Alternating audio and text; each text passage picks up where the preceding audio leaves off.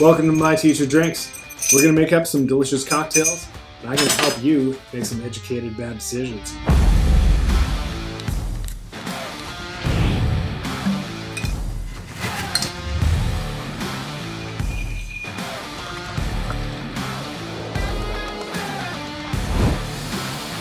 Oh, damn, that's good. Mmm. Yep.